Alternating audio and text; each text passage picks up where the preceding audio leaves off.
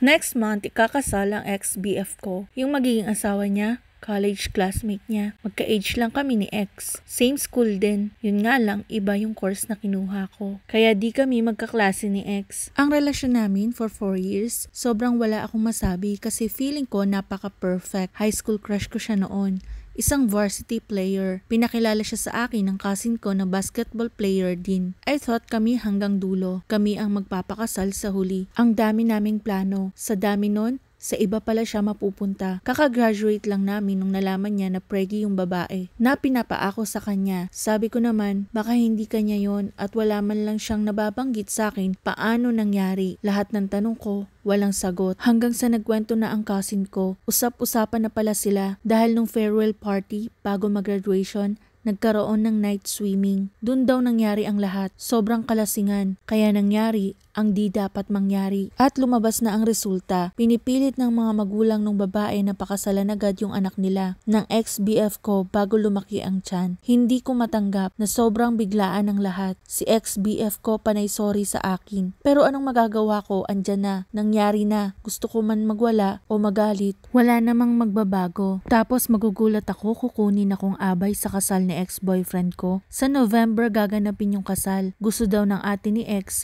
na gawin akong abay. Reason? Para daw maging memorable sa babae na yung ako dapat yung andon sa kalagayan niya. Pero mas masakit naman sa part ko yun. Yung pinangarap kong ako dapat ang papakasalan. Gagawing abay na lang sa kasal. Nagdadalawang isip akong pumunta para saan pa kung papayag akong maging abay sa kasal. Close ko kasi ang ate ni ex-BF ko kaya isa din siya sa hindi makapaniwala na hindi kami magkakatuluyan ng kapatid niya. At yun ang naiisip niyang paraan para daw makita nila ako habang kinakasal, yung kapatid niya at yung babaeng sumira ng relasyon namin.